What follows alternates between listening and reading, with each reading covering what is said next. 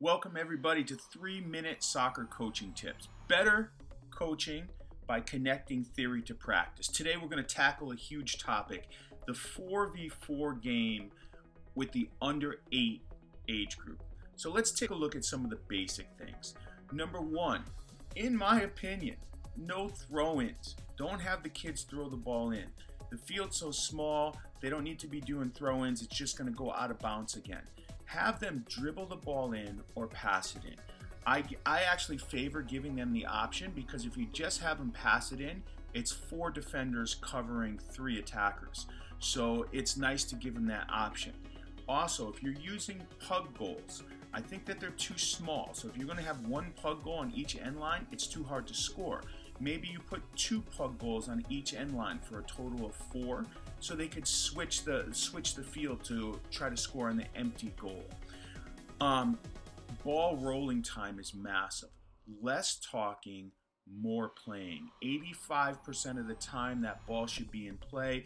Maybe put like a three second time limit. Hey, within three seconds, you got to dribble or pass the ball in. Get things moving. If you're going to give them general instructions like, hey, let's get in a diamond shape, they should know to be side on, how to receive the ball to their back foot. And we should train them these types of very simple defender in there.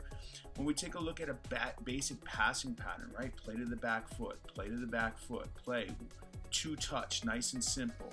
Here we have back pedal, right? Soccer specific movement, back pedal, receive to the back foot, play on the next touch, nice and easy.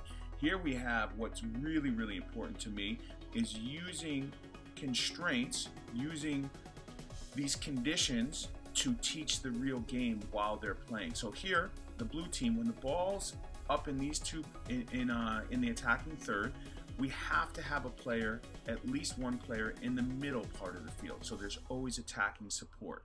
You also, there's a line going down the middle of the field. You have to player, when you have possession of the ball, you have to have players on both this side and this side. So minimum of one player on each side. So now you have a nice attacking organization and nice shape. When the ball's in the attacking third part of the field here, no players are allowed back here. So again, it ensures a nice shape to your simple uh, ideas.